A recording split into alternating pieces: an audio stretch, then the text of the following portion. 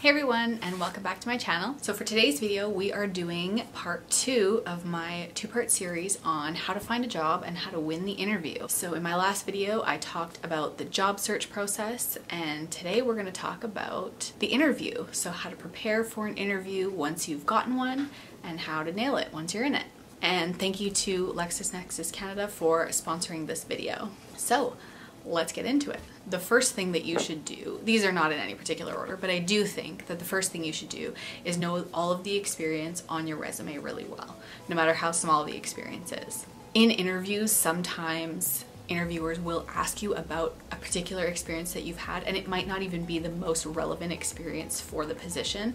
They just want to hear you talk about something that you've done and to kind of give them a little bit more information about it. So make sure you're prepared to answer any questions about any of the experiences on your resume and be able to easily identify any transferable skills that you've gotten from any of the experiences that you've had. Particularly if you've never had a legal job, you want to be able to identify those skills that you think are going to help you in this new position. So, for example, if you've worked in customer service, that experience is great because ultimately the legal field is a client service industry. So, any kind of customer service experience is going to help you as long as you can articulate why. The next tip is to go online and look for interview questions and practice them. If you are someone who is interviewing for a job during law school or for your first legal job, my guess is you're probably not going to get asked a lot of substantive questions.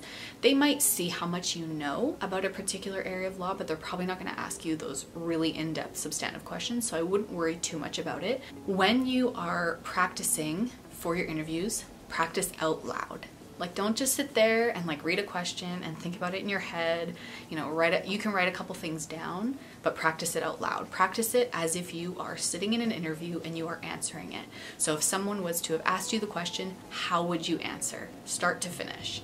If you have somebody to practice with, even better because they can give you some feedback on how quickly you're talking, how smoothly, whether what you're saying actually makes sense, whether there's certain things that you could add. So if you have someone to practice with, that's great, but if you don't, practice out loud. Make sure that you are practicing it and answering the questions as if you are being asked in the interview right now. Ideally, when you are answering questions in an interview, you want the answers to be concise and responsive to the question that was asked of you, and you want to be able to easily identify your relevant experience and your transferable skills. I'm guessing that all of your interviews that you're going to be doing for the foreseeable future are going to be via video chat, so it might also help you to practice in front of a mirror or to practice on camera, just so that you have that kind of feel. I know some people get weird in front of a camera, so it might be helpful to practice that and make sure you feel comfortable in front of a camera. And make sure you're not staring at yourself the entire time, like I often do in the viewfinder. You don't want to be doing that in your interviews, so practicing that is a great thing to do before your interviews. Another really important part of preparing for an interview is knowing the company or the law firm that you're applying for. So spend some time Googling and researching the company, identifying, if it's a law firm, identifying what practice areas that firm services, any particular values or mission statements that that firm or that company has. If you know the person that you're going to be interviewing with, it's also helpful to look that person up and see a little bit more about the work that they do and the experience that they've had. If it's a litigator that you are interviewing with who has litigated cases, it could also be helpful to look up their cases. LexisNexis actually has a tool that you can use that can help you and you can see what cases they have worked on and learn a little bit more about those cases. So with the Cases Advanced search function on Lexis Advance Quicklaw, you can actually look up the cases that a law firm has been involved in. So if you go to the advanced search function and you click cases, and then you scroll down to where it says counsel, you can put in the name of the law firm that you're interviewing with and it will bring up all the cases that that firm has been involved in. And you can sort them in whatever way is helpful for you, and you can go through them and learn a bit about them. And you can also see which lawyers were involved in those cases if you click on them. My main tip for discussing cases or any particular work that your interviewer has worked on is to know it really well because they know it better than probably anyone. So if you're going to mention a case or if you're going to talk about some work that they've done, make sure you know enough about it that you can actually discuss it in a thoughtful way. Don't just kind of look up the name and think that that's good enough. You should know a little bit about the case, um, have some thoughts on it, and some thoughts on the decision because that will make it look like you actually know what you're talking about.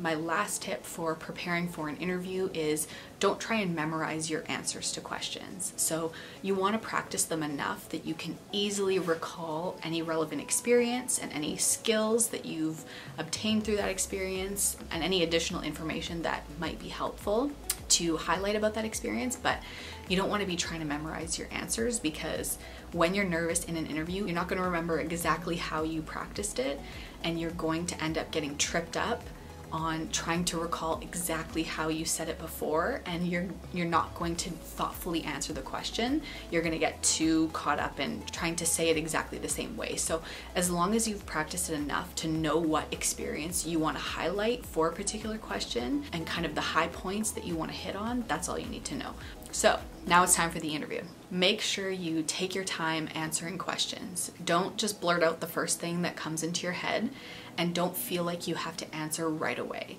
Feel free to take a breath and think about the question before you start answering. You can even say something like, let me just think about that for a second and really gather your thoughts before you start talking because you don't want to ramble and you don't want your answers to be longer than like 30 seconds to a minute.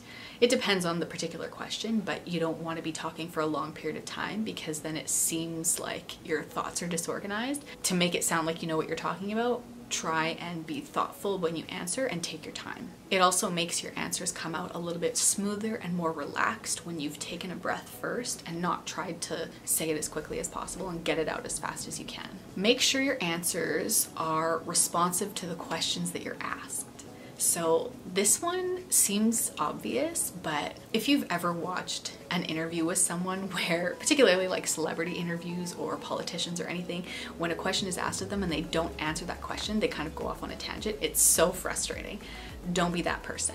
Make sure that when you are practicing before your interview and in your interview itself, that you directly answer the question that's asked of you. You might want to provide a little bit of context, that's fine, but just don't get too caught up in the background information that you kind of lose track of what the actual answer is that you're aiming for.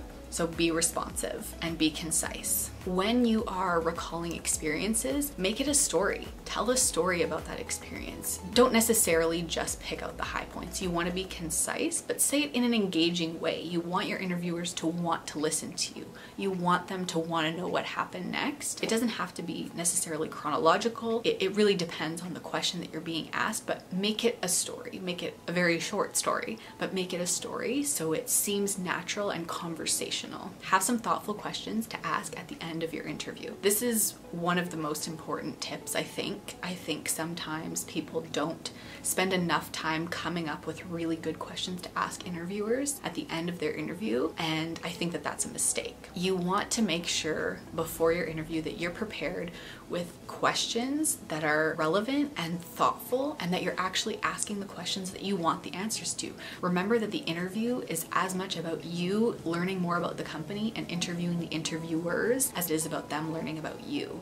You want to make sure that that place and those people are going to be a good fit for you. So have some questions prepared that will help you determine if it's actually a place that you would want to work. Some questions that I like to ask are what would a day look like for me if I were to work in this position? What would my day look like? What do you like about working in this law firm or in this company? What are some of the challenges that you face in this particular area of law?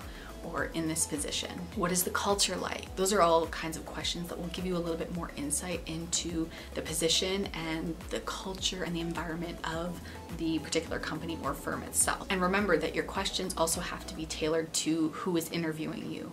So you might be interviewed by someone from HR, you might be interviewed by someone who will eventually be your supervisor if you get the position, or you could also be interviewed by someone who would be your colleague. So make sure your questions are tailored to the person that's interviewing you. Usually you will know ahead of time what position that person holds before your interview, but if you don't, prepare for any of them. And I would suggest having more questions prepared than you necessarily need to ask because probably some of the questions will be answered during the course of the interview and depending on how much time you have at the end of your interview, you may or may not be able to ask certain questions. You might want to focus on shorter ones if you don't have as much time or focus on the really important ones. So have a variety and have more than you think you'll need. Some tips for video interviews, because I know that's probably how most of you are going to be doing your interviews now. Be prepared for your video or your audio to cut out or for any other technological issues because it's very possible that that's going to happen. The video might be laggy or the audio might be laggy. Make sure that you have patience and that you have practiced how to respond in those situations. You don't want to be in a position where they say something and you're like, huh, what? You want to be respectful and polite and so know that that's a possibility that you're gonna have some technical issues and be prepared for it to happen so that your response isn't rude or that you're not caught off guard. Have a clean background for your interviews. So it's okay to have something behind you, but make sure that it's not super, super busy. If you wanna use the filters, like if you're doing like a Teams interview or something, you can use the background filters. I would suggest picking something really simple that's not going to distract from you and what you're saying saying. It's up to you whether or not you want to use one of those filters depending on your particular circumstances and if you have a place that you can do an interview that doesn't have a really distracting background, but just make sure that it's not going to distract from what you're saying and that it's not going to take away from your interview. Try to limit the noises around you as much as possible. There are probably going to be situations where somebody is in an interview and maybe their kid walks in the video or their dog starts barking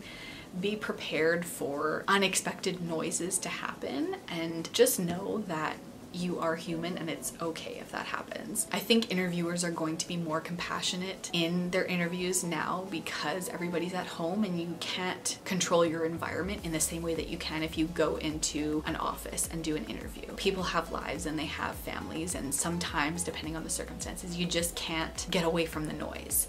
So if something happens, if your dog starts barking or your child is crying or something like that, or they run into the video, try and stay relaxed and not let it distract from your train of thought. So if you need to say, I'm so sorry that my dog is barking, let me just put him outside and then I'll be right back that's fine. If you're in a situation where that's not going to help, just know that it's possible that that's going to happen and be able to continue with what you're saying without being too interrupted. You don't really want to make a big deal of it. If the interviewer says something like, it's, it's okay, you know, take care of that, then that's fine, but try not to let it distract you too much from what you're talking about and from your train of thought. You don't want it to become too big of a deal. So just know that you're human, that hopefully the interviewers are going to acknowledge that this kind of thing happens when we are interviewing at home and just try to minimize the impact that it has on your interview as much as possible. One final tip for video interviews is don't be late. This is a general tip for every single interview, but particularly for interviews online, I would say don't be late because you actually have no excuse. You don't have to go anywhere. You don't have to sit in traffic or anything like that. Don't be late. Make sure that you have set up your computer and your camera and all that ahead of time, that you've tested out your video, tested out your audio, make sure all of that is in order before your interview so that you can be on time um, because there's a lot less excuses now to be late. I have one last tip for anyone who is doing the on-campus interviews or any kind of recruitment process who is applying for a law job. I was asked during one of my OCI interviews what case that I had learned about that year or throughout my law school career thus far was the most interesting to me and what did I like about it? What did I know about it? And I didn't have a great answer. So don't let that be you. Make sure that you have some kind of a case that you can discuss in a meaningful way and know enough about it that you're not going to get tripped up in questions about it. You might not get that question, but I do think that that is probably a question that's pretty easy to ask. So have a good answer for that. Again, I think I said this at the end of my last video, but just know that if you don't get the job, there are other opportunities out there. I had an OCI interview or a couple, I'm not sure. And I didn't get a job out of it. So for me, it was just good interview experience and I had to move on from that. I did end up getting a research assistant position that following summer and I also got an internship which led to my articling position. So know that if you're doing any kind of recruitment, this is not your only opportunity to get a job and no matter what interview you are doing, no matter what kind of job it is, it's not going to be your only opportunity. So do the best that you can, but if it doesn't work out, that's okay. There's always going to be another job to apply for. There's always going to be another opportunity. So don't get discouraged. Job interviewing is tough. It's not fun at all. I don't think anyone actually enjoys it. So just try to make the most of it, get the most of the experience, learn from it, and move on to the next one you know that is it for my second video on interviewing i hope that you guys have enjoyed this job searching and interviewing series hopefully you got some good tips from it that will help you if you're doing any kind of recruitment or you have any kind of job interviews coming up best of luck to you. I know how stressful it can be. Just be yourself, do the best that you can, and kill it. So thank you so much for watching. Make sure to like this video and subscribe so you don't miss my next videos and I will see you then. Bye.